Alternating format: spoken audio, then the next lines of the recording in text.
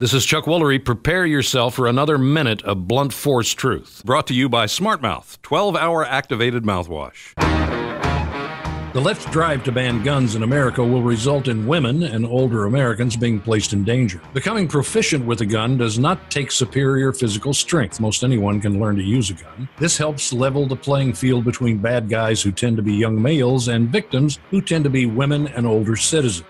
You don't believe me? Well, let's take a look at London, where the cops don't have guns. You are six times more likely to have your home burglarized in London, one and a half times more likely to be robbed, and women are three times more likely to be raped. Criminals in London know that if they attack a victim that is physically weaker, their chances of success are pretty good. While here in America, criminals never really know who's armed. Math is not an option. More legal guns equals less crime. I'm Chuck Woolery.